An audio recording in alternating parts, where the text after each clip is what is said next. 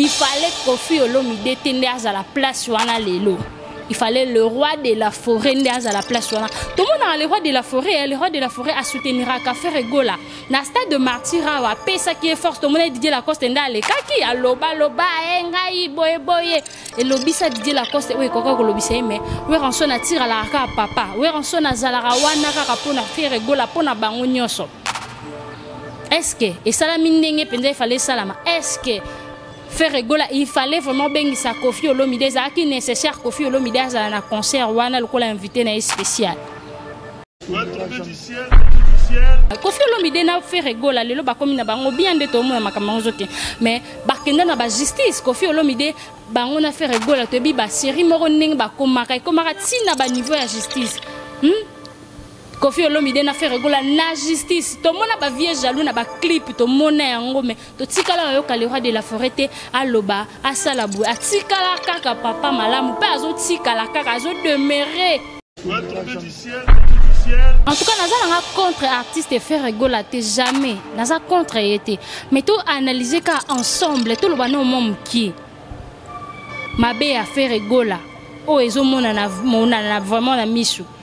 toyo kotya kale te to toyo loba boye te lelo eza mokolo na ya concert azala focalise mais il faut toloba quand même il faut tolobela yango hmm? frere gola baninga nyonso oyo bakenda na yo bazalaka na yo tomonaka baheritier watanabe bayaka wana kotala le roi de la forêt tomona yango goga ya tembe ayaka wana ye ayaka ti ba ba barep ayaka ti kotala masi deji baanniversaire surprise mosusu ya noel namona héritier watanabe na kati wana mais frère egola alakisaka te alakisaka te bolingo na ye envers papa na ye euh, le roi de la forêt tokende nango na opembe bolamu eleka nanu wana te bolamu eleka te toyokaka yango na concert ya stade de martyr stade de martyr weranson akozala weranson akozala esala mpe plaisir weranson akozala aza toyomona soki weranson akozala te mais weranson aza wana toujours kopusa yo kaka okende mokaka oswa na ye toujours ozo recevoir yango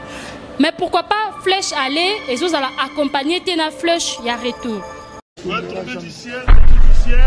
Ferre Gola azalaki répété awa na 1 2 3 le roi de la forêt ao répété ka awa na kasavubu awa epai ya bos na biso mona bosani nkombo ya bos na biso wana eya mais en aucun jour tomona Ferre Gola akotela ata papa na ye ata papa ye nayaki kopesa mbote zero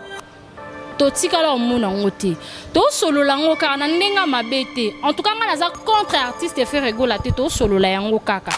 awa kaka na inde 3 eh, le roi de la forêt awa na kasavubu mais aya te tokomi awa na kipwanza british bovan eza mosika te na kipwanza british mais totikala mpe omona ferre gola aya te owaye obeta ata mwa tour moko boye ya lokutu non non non non non ayaka te mpo nini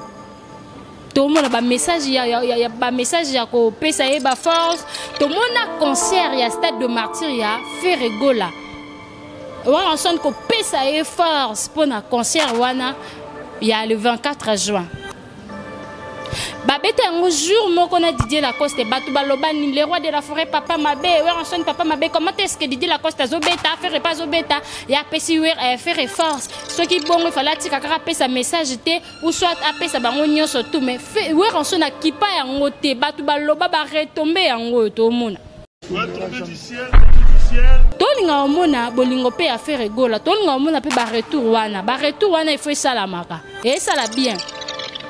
kosalaka lokola eh, kaka ndenge moko boye te fo tomona baretour olakisake wana papa na yo tomona bafabrigas baya na batrophée kolakisa le roi de la forêt asali boye olakisa le roi de la forêt eh, diske boye nango deplik ayaka soki na nini na ye kuna na, na, na, na kati ya barep tozomona tozomona eh, bato nde bazoya baolakisa pourquoi pas mpe fere gola alakisa ke ye mpe aleka na kati ya wenge asurprendre biso mpe aye esalamaka te poani esalamaka te esalamaka te topousie ye te tolobela yango kaka mpo esala bien te tozomona ondire ezosimba te place wana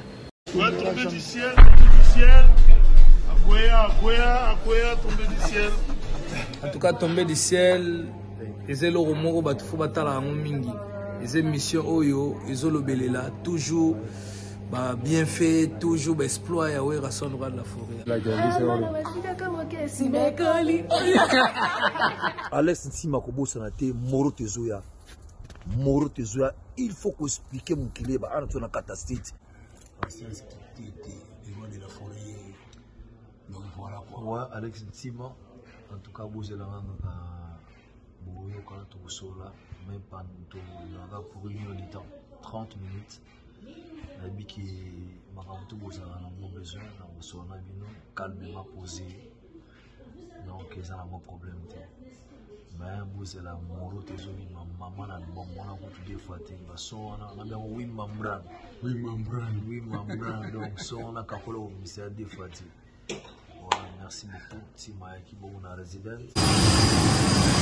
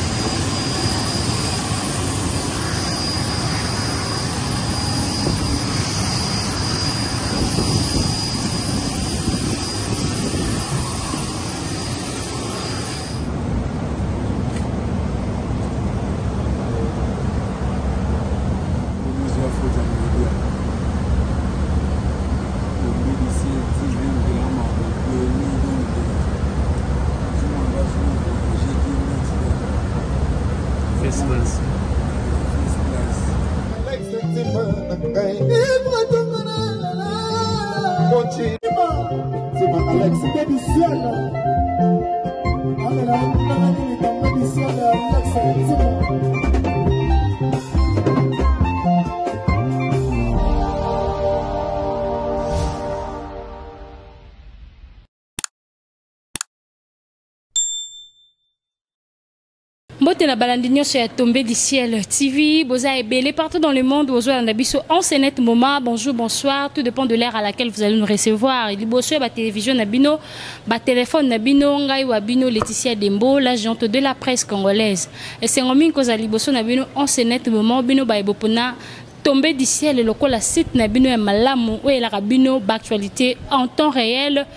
car vous servir sur notre devoir merci nde bokoti ebele merci na bapartage merci na baabonnement merci mpo bosala force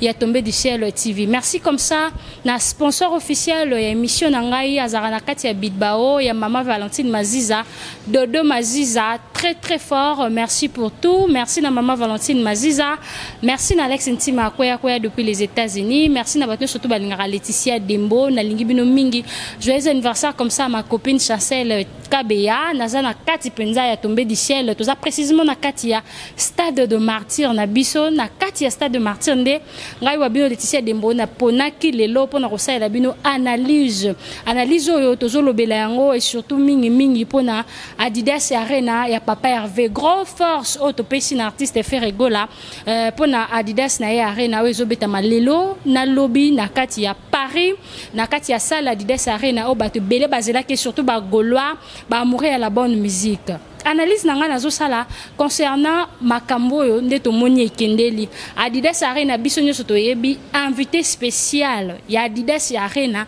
ya oyo ekobeta lelo le 20 avril ezali kofi olomide tomonaki kuna papa na biso le roi de la forêt mokonzi ya bawenge ndenge apesaki biso force ndenge apesi artiste faire ego la force mpe abengi bato nyonso bakende koassiste na concert ya le 20 na le 21 avril oyo ezobetama na kati ya adidas arena nga, euh, nga personnellement esali nga euh, bien te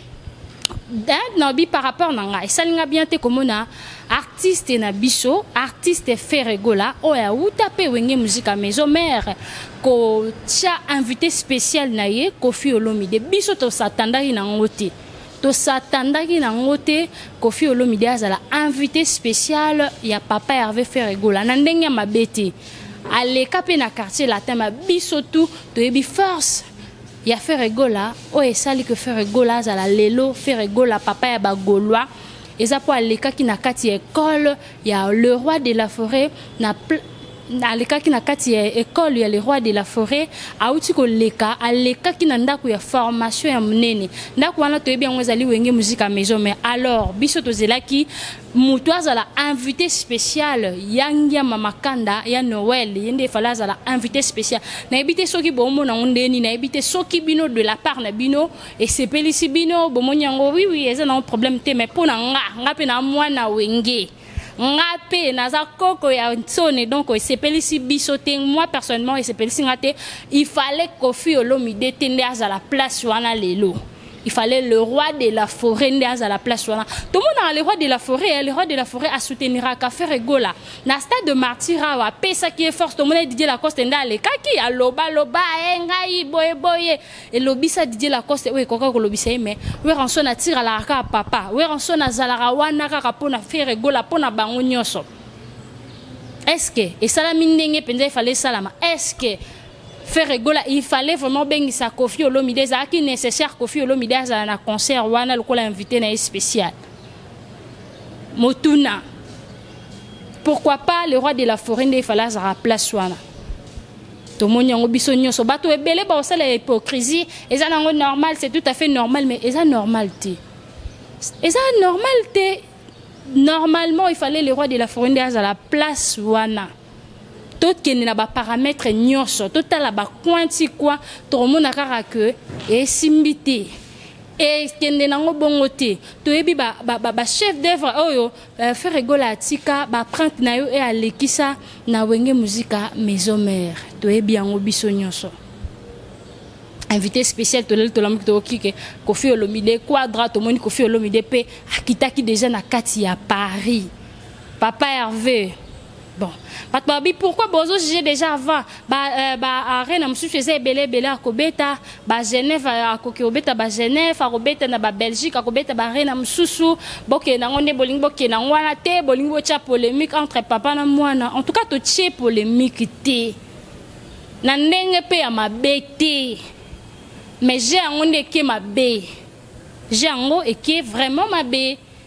ifale nde ya noel azala place wana pourkui mpo toyebi biso nyonso ya noel azalaka wana mpona kofi olomide na fere gola lelo bakomi na bango bien nde toomona makambo yango zoke mais bakenda na bajustice kofi olomide bango na fere gola toyebi baserie moko ndenge bakomaka ekomaka ntina baniveau ya justice Hmm?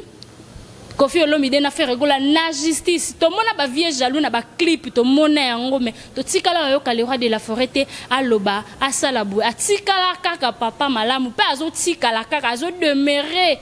papa malamu mokonzi ya bawenge azotikala kaka na place na ye wana avandi kaka na trone na ye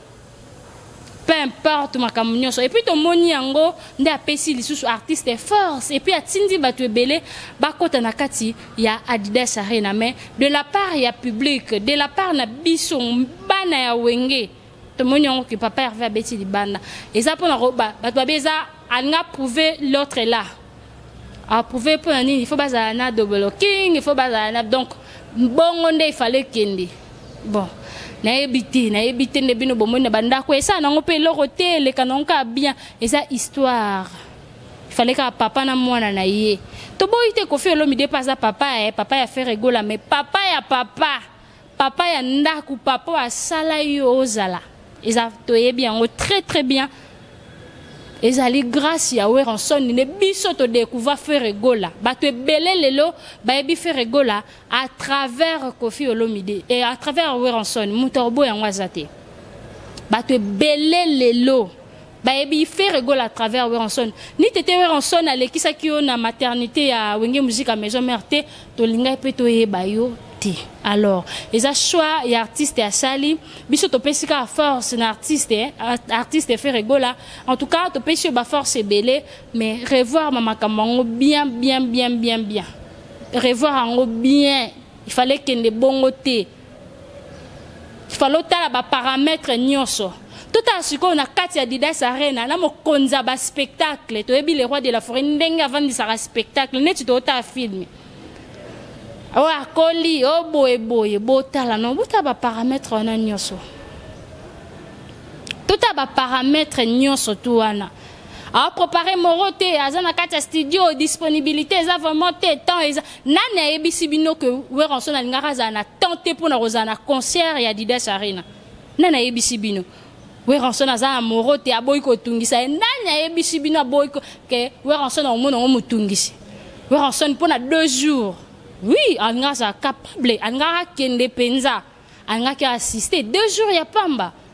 le 20 le 21 et puis le 25 azongeli biso na mboka mpo na moro te oyo bato ebele baoleka elingi esa eloo te elingi esa eloo te tokamwe kaka kokamwa kokamwa na, na, na, na motema esali bien te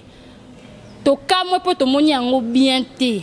un vrai mwana wenge nyonso azala contre nga te nayebi te bino so bomoni yango bien mais nga mpe na mwana wenge esali nga bien te na ba part na ngai de la part na ngai esali bien te eh, il fallait kaka nde le roi azala wana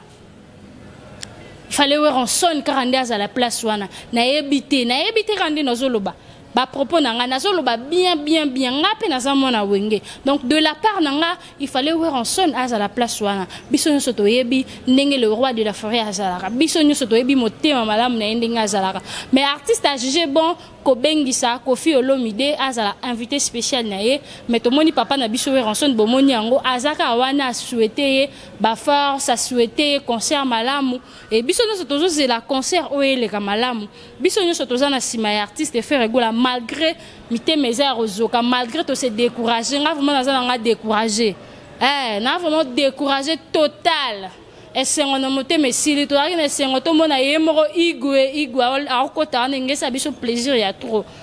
wenge un jour wenge pour toujours oyo oh, tomoni o oh, latine o oh, père na ye mpe basala boye bon totala kaka swa eza te to analyse ensemble to analyse ensemble biso nyonso ensemble tosolola to, to, to mpenza pembe en tout cas naza nanga contre artiste faire egola te jamais naza contre ye te mais to analyse ka ensemble toloba no mwa mokie mabe ya faire egola oyo ezomonana monana vraiment na misu toyo kotya kale te to toyoloba boye te lelo eza mokolo ya concert azala focalise mais il faut toloba quand même il faut tolobela yango hmm? faire egola baninga nyonso oyo bakenda na yo bazalaka na yo tomonaka baheritier watanabe bayaka wana kotala le roi de la forêt tomona yango goga ya tembe ayaka wana aye ayaka ti ba, ba, ba, ba, ba, ba barep ayaka ti kotala maasi deji baanniversaire surprise mosusu ya noel namona héritier watanabe na kati wana mais frère egola alakisaka te alakisaka te bolingo na ye envers papa na ye euh, le roi de la forêt tokende nango na opembe bolamu eleka nanu wana te bolamu eleka te toyokaka yango na concert ya stade de martyr ti stade de martyr eh, eh, eh, weranson akozala weranson akozala esala mpe plaisir weranson akozala aza toyomona susu weranson akozala te mais weranson aza wana toujours kopusa yo kaka okende mokaka oswana ye toujours ozo recevoir yango mais pourquoi pas flèche aller ezozala accompagné te na flèche ya retour ezala bongo te ezala bongo ata moke te pourkui ezosalama bongo baheritier bayaka bafabrigas tozomona bango bazoya wana bazalaka feregola azalaki orepete awa na 1 2 3 le roi de la forêt aorepete ka awa na kasavubu awa epai ya bos na biso mona bosani nkombo ya bos na biso wana eya mais à nos 15 jours tomona ferre gola akotela ata papa na ye ata papa ye nayaki opesa mbote zero totikala omona yango te tosolola yango kaka na ndenge ya mabe te en tout cas ngai naza contre artiste ferre gola te tosolola yango kaka awa kaka na inde 3 le roi de la forêt awa na kasavubu mais aya te tokomi awa na kipwanza british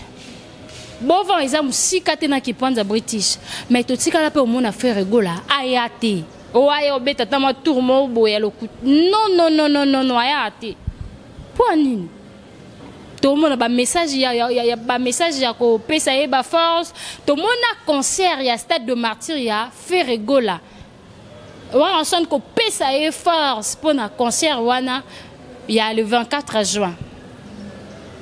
babeta yango jour moko na didier lacoste bato baloba nini le roi de la forêt papa mabe werson papa mabe comment est ce que didier lacoste azobeta ferre mpe azobeta ye apesi eh, ferre force soki bongo efale atika kaka apesa message te ou soit apesa bango nyonso tout mais weranson akipa yango te bato baloba baretombe yango oyo toomona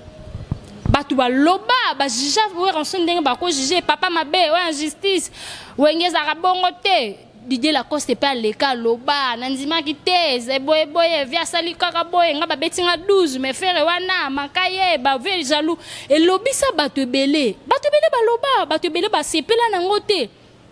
Didier Lacoste abandose la paix de la part ya le roi de la forêt apesi force mais biso nga na tambola pe na matonge po tombe du ciel biso awa balobaka mingi mingi makambo balobaka leticia alobela makambo ya weranson me ngai nayambaka bato nyonso tu biso totambola na réalisateur na ngai mpo na concert ya papa herve le 24 juin alex ntima alobi botambola mpo na fere gola tokita matonge tosala bamicro baladere bato baloba topesa force na concert wana alex ntima asalisa babanderole na kinshasa awa alex ntima azosoutenir artiste ferre gola 100 tombe du ciel mobimba ekipe na biso nyonso na badirecteur na biso ya programme tozalaki 100 mpo na concert wana topesaki nyonso totambola toloba totya na bastati alex ntima aoblige biso bosala boye biso mpe tozalaki na amour wana mpo toyebi yaya na biso ya wenge le roi de la fongerie donc ekipe epola te biso mpe toza na mposa martyr oyo etonda lea dembo na micro tokotambola matonge concert ya le 24 bagolois bolobi nini bagolois bosali nini tosalaki yango mpo ya nini tomonaki déjà le roi de la forêt apesi biso mot d'ordre mot d'ordre eza bino nyonso na martyr donc tomoni déjà le roi akweyisi mbela biso nyonso derrière message ya le roi de la forêt tokoti na basecteur tokiti sur le terrain tolobela yango mais na retour biso tozwa ba retour wana te biso tosepela na ba retour te artiste ferre gola eza lokola mwa soni moko boye de la part na biso na ndenge makambo yango ezokendela eya mwa soni na biso biso nyonso toyebi papa ya, ya, ya, ya, ya, ya papa ya ya musique ya ya ya, ya Fally hein, etimo donc musicalement parlant eza Koffi Olomide ba concert ya Barena il fallait Fally nde azala a honorer Koffi Olomide ba concert ya Barena na il fallait honorer Werenson barene ya fali ifale nde wana bayokana na kofi eh, bahonore papa na ye eh, oui, oui, oui. mais arena oyo barena oyo histoire ya double arena oyo fallait ezala ekomama na le roi de la forêt soki le roi de la forêt azalaki te tolingaki mpe te euh, kofi olomide efallait mpe azala te soki euh, le roi de la forêt azalaki te kofi olomide akozala na concert mpo aye opeso force par rapport oleka mpe kuna non ntango babaka aden wana aden papa ayebisaka bino toujours aden aden makila likambo makila donc bobosanaka te ça fait mal nga na moni yango bien te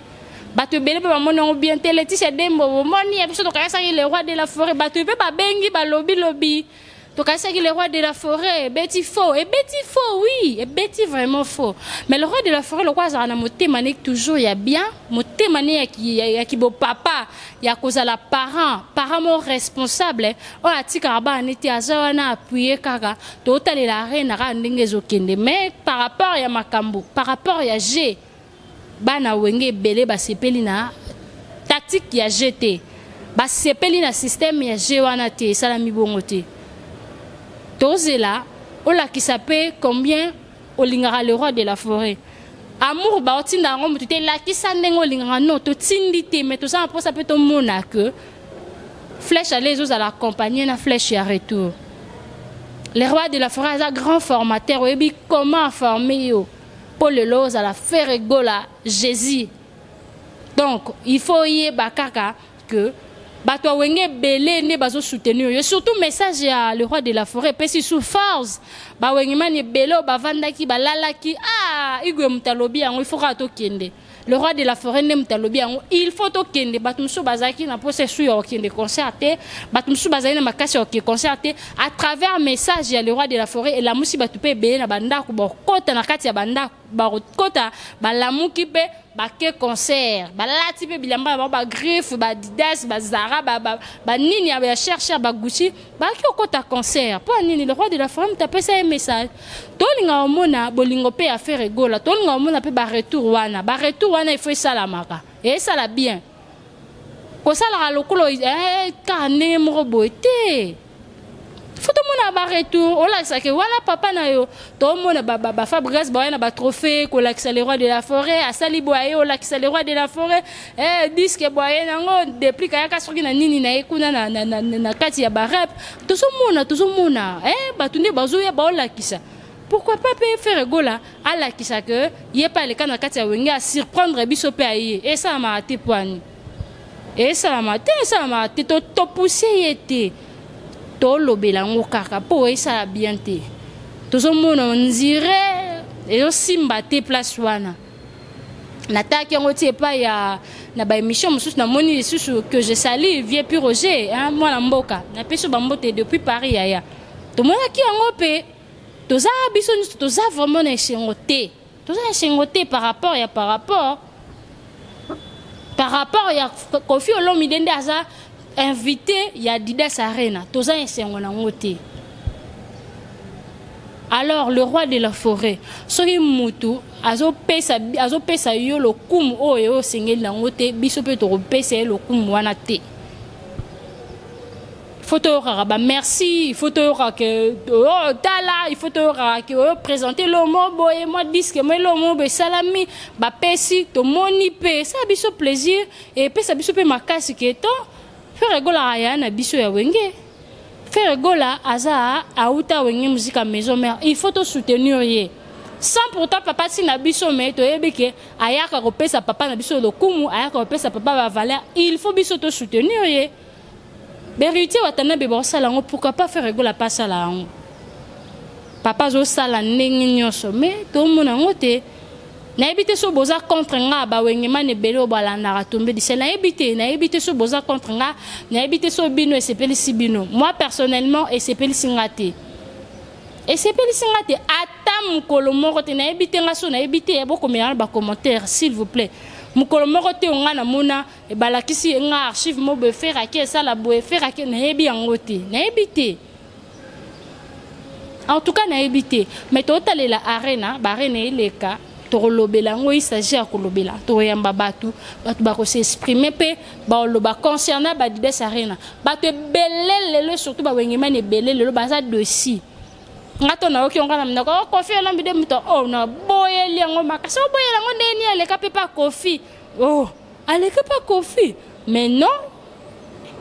frère gola awenge man aza mwana ya wenge ya mwana latino te o oh, esa eloko te wer aza concentré na moro te nani ayebisi bino ke wer aza concentré na moro te ekopermettre ye te ake kohonore mwana na ye oyo oh, azofranchir sale ya monene azobeta na kati ya sale moko ya monene oyo oh, aza moto ya liboso ake kofungola sale wana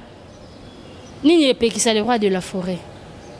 nini ekopekisa oyo wera aza studio studio ezozwa ye temps nani ayebisi bino wi aza na studio mais mpo na mwana na ye le roi de la forêt na motema ne azala na yango alingaka apesa euh, didas arena makambo mosusu angaka akende mpo na kosoutenir artiste ferre gola à 100 pourcent mais déjà soutenir ye message na ye wana déjà elakisi combien papa wana aza papa moko boye na motema malamu combien weranson alingaka ferre gola combien weranson aza derrière concert oyo combien ferre gola azosopela mwana na ye bafleur combien ferre euh, weranson alingaka komona bano babima epa na ye bakende liboso aza, la, aza le seul e unique musicien oyo azala na bana ebele oyo aforma ebele moto akotya tembe aza te atikali le meilleur atikali le grand formateur atikali papa malamu atikali wana mpo na libela kolingaka baartiste na ye namona nanu bamusicien te oyo balingaka bana na bango babima lokola werenson nayebi te namona te moto aforma makasi nayoka yango mpe akobina mondibu nde alobaka nayaka wenge na ye bobina te nabima na koyeba kobina makasi mpo na werenson batémoignage ezalaka ebele bato ebele tomoni yango barobino mondibu mpo na vocal moko lelo bayebi ye robino mondibu mpo na werenson vocal kaka moko ye moko nde alobaka lelo bayebi ye robino mundibu papa chic aosala mpe musique na ye c'est grâce à weranson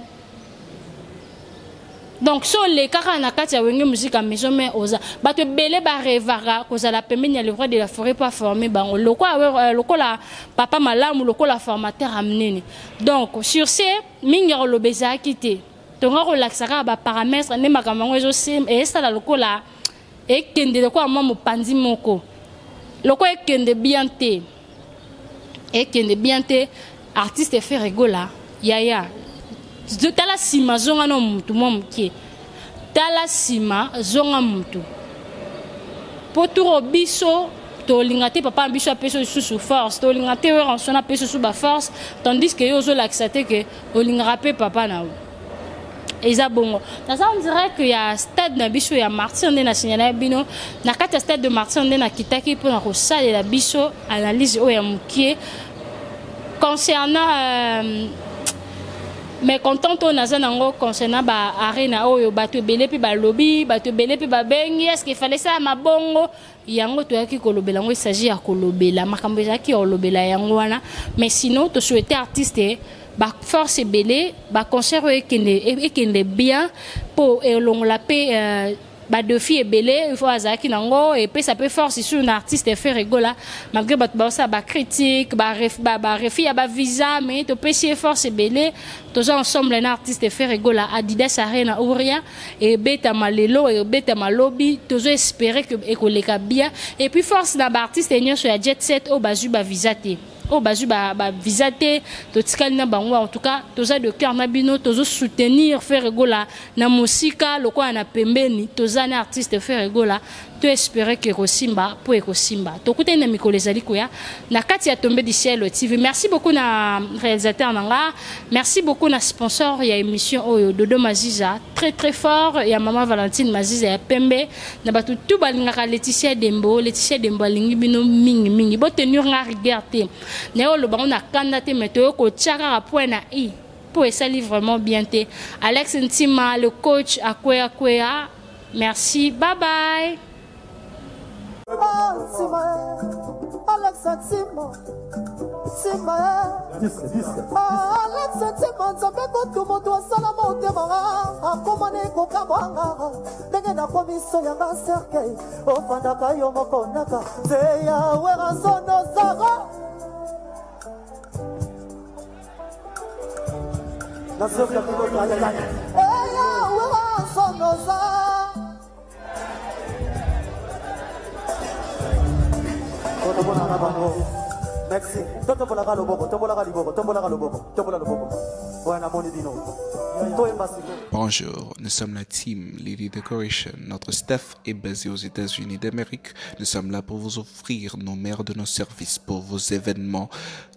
mémorables et inoubliables. Faites-nous confiance, nous sommes disponibles 7 jours sur 7. Merci.